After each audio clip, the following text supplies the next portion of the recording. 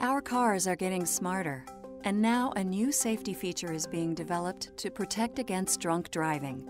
The alcohol detection system will measure the alcohol in a driver's blood in less than a second. If it is above the legal limit, the vehicle won't move. For drivers under 21, for whom any amount of blood alcohol is illegal, the system can be programmed for a zero tolerance policy. To get an accurate, reliable reading, two technologies are being explored a breath based system and a touch based system.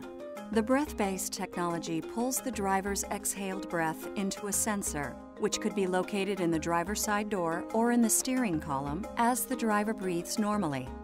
A beam of infrared light is then directed at the molecules in the breath. Carbon dioxide and alcohol molecules absorb different amounts of light, and the sensor can compare the two, making it easy to measure alcohol levels precisely, even at very small concentrations.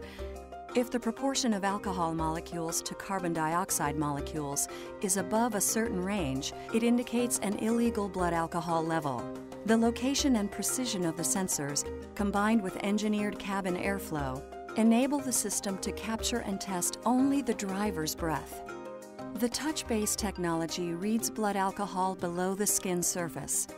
Touch sensors in the car's ignition button or in the gear shift shine a beam of light onto a finger. This touch based system uses near infrared tissue spectroscopy to detect the level of alcohol in the blood. Alcohol absorbs specific wavelengths of light. By measuring the light's intensity, the system can precisely pinpoint the driver's blood alcohol level.